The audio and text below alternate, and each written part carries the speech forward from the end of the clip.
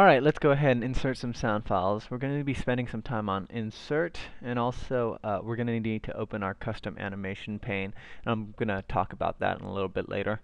Uh, first of all, we go to insert, go to sound, we can add sound from file, sound from clip organizer, CD audio track, or record sound. Now we're going to stay away from the first and third options, sound from file and CD audio track, because uh, it links the sound file just like we talked about before. And so if you move the PowerPoint presentation or move the file, it could break the link. And so that could be kind of obnoxious. We're going to avoid that. Sound from Clip Organizer is like um, adding sound from clip art. Uh, you know, the little clip art pane shows up, you type in what you want, claps. And I have some uh, sound files that are relevant to what I just typed in. Once I click on it, it'll ask if I want to play it automatically or when clicked. Choose either one. Okay, so let's take a look. When we click on the sound file, it'll bring us to the Sound Tools options. Uh, you can hide this low clip during the show. For example, if I play, it it's visible. If I don't like that, I would click on Hide During Show, and it's going to be gone. Um, now this is where, uh, well this is how it works.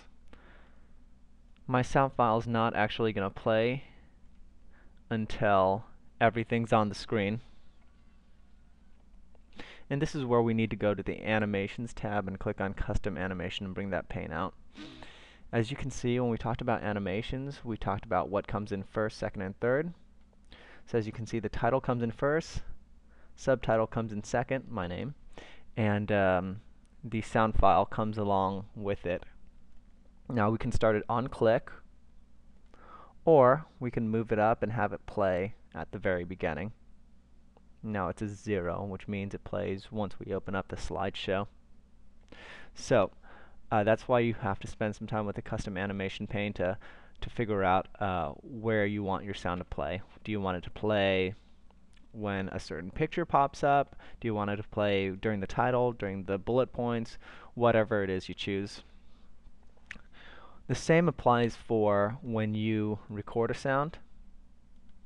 The little sound recorder is going to show up. I'm going to make a sound, stop, press OK, and the sound's going to show up.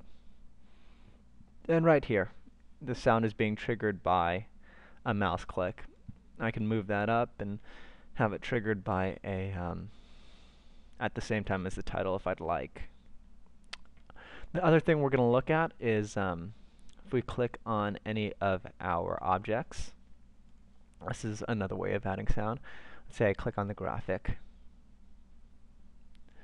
I can take a look at that animation and I could go to effect options and I could add sounds this way. So um, I can choose this sound, press OK, and it will play along with the animation. So those are ways of adding sound. Um, it's really up to you whether you want to add it or not. Uh, I know some people like it and some people really hate sound in their PowerPoint presentations. So um, go ahead and try it for yourself and see what you think.